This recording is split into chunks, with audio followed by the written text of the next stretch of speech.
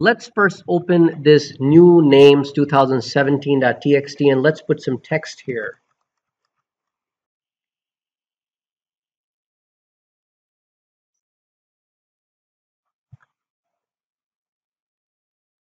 Now let's create a new class called zip file.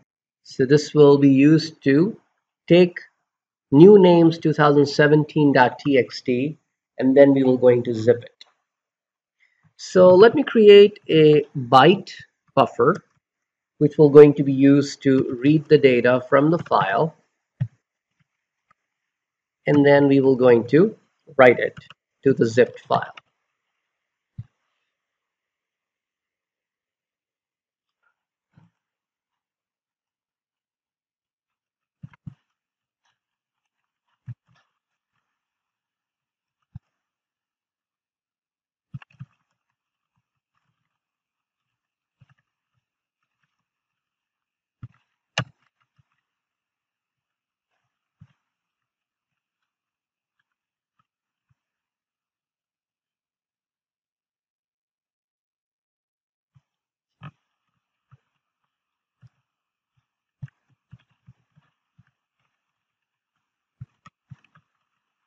So since we are writing to a zip file, therefore I'm using gzip output stream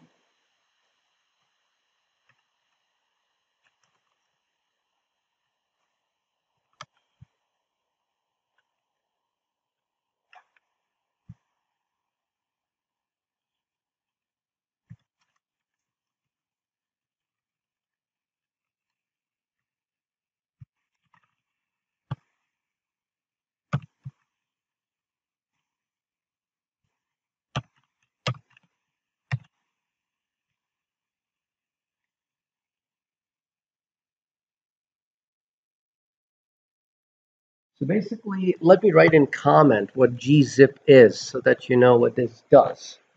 So gzip is a file format and a software application used for file compression and decompression. Means if you are reading a gzipped file, you will use gzip input stream. If you are converting it into a zip format, you will use gzip output stream.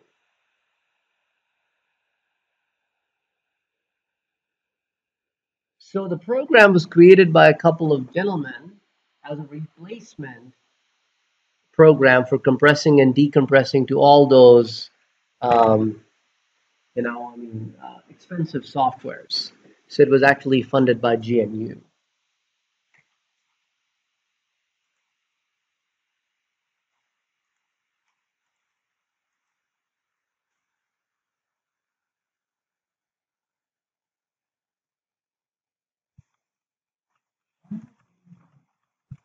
You need to organize your imports. No, I did.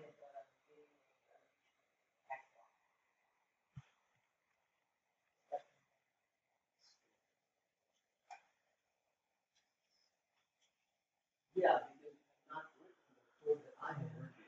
If the try is empty, there is nothing to reach. Right? So now file input stream object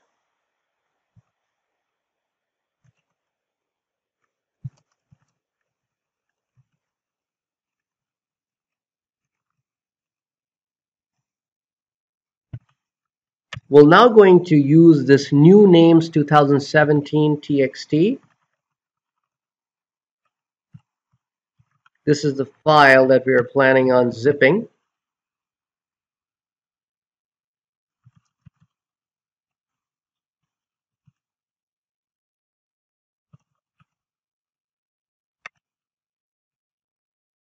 So we will block this whole reading process until all the bytes are written.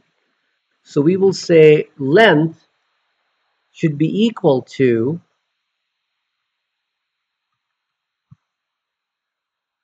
the file input stream object dot read, so it should read it into the buffer. And as long as that is greater than zero, keep looping. That means as long as there are bytes to be read, as long as there are bytes to be read, keep looping.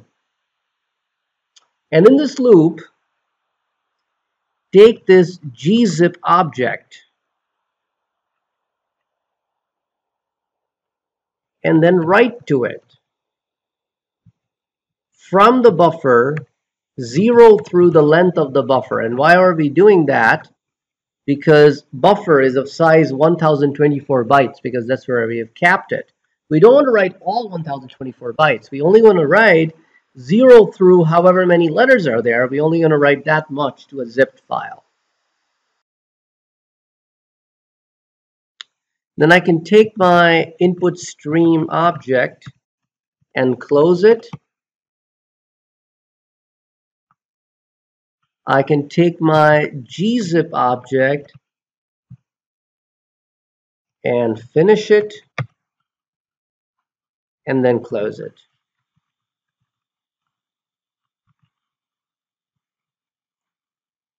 So what finish does, it finishes writing compressed data to the output stream without closing the stream. Use this method when applying multiple filters in succession to the same output stream. So now let me run this. It generates no output, which is a good news, because otherwise the only output would be the error. Now let me refresh this and here you have names zip file.